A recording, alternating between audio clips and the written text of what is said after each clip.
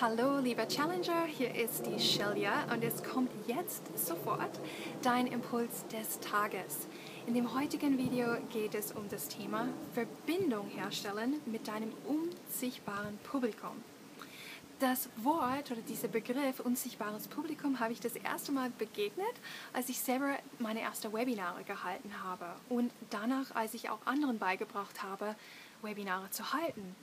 Und das Ding ist natürlich, bei Webinaren bist du geografisch getrennt von deinem äh, Zielpublikum und du siehst vielleicht nur eine Liste von Namen und keine Gesichter. Und meine äh, Kunden haben mich gefragt, ja, wie äh, schaffe ich das, dass ich nicht da stehe, was erzähle und das Gefühl habe, dass ich mit mir selber spreche.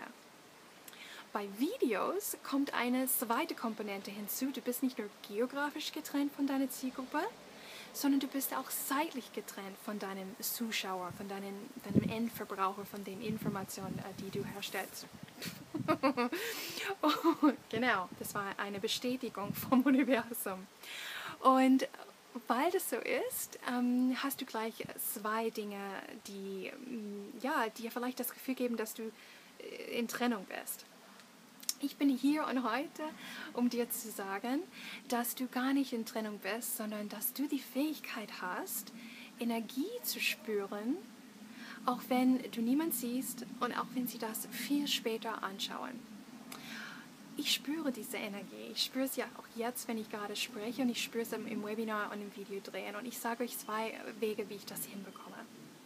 Mein erster Tipp ist es, eine einzige Person vor Augen zu haben entweder eine fiktive Person, ähm, was dein Wunschkundenprofil darstellt, äh, das stellvertretend für deine gesamte Zielgruppe ist. Oder noch besser, eine physische, echte Person, ähm, die du kennst, vielleicht ein Kunde von dir oder jemand, der zu deinen Follower gehört. Und heute habe ich mir aus, rausgeholt den Tom. Tom, ich weiß, du bist in Österreich, ich bin hier in Deutschland, das macht nichts. Also ich habe dich stellvertretend für die gesamte Gruppe heute rausgepickt und ich spreche mit dir. Ja? Das kannst du auch tun. Der zweite Tipp ist, dass du nicht einfach losschießt mit einem Video, sondern dass du vorher dich hinsetzt in Ruhe und dich besinnst auf das, was gleich kommen wird. Und dass du dabei dich in Dienst deines Publikums stellst. Um mich in dieser Position vom in Dienst stehen für mein Publikum, sage ich immer ein Gebet auf und die hört sich so in etwa an auf Deutsch. Führe meine Gedanken, führe die Gedanken der Personen auf der anderen Seite oder diese Person auf der anderen Seite. Lass das, was ich sage, das Richtige sein, was der oder diejenigen hören sollte.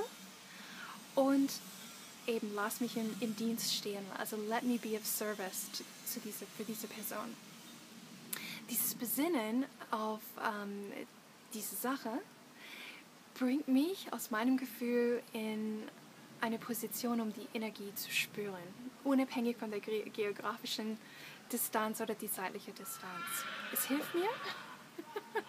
Heute haben wir wirklich alle Geräusche. Flugzeug, Baustellenarbeiter, Pferde hinter mir. Das ist alles nur Bestätigung. Und deine heutige Challenge ist es, das auszuprobieren, wenn du möchtest, wenn du es nicht ohnehin schon tust.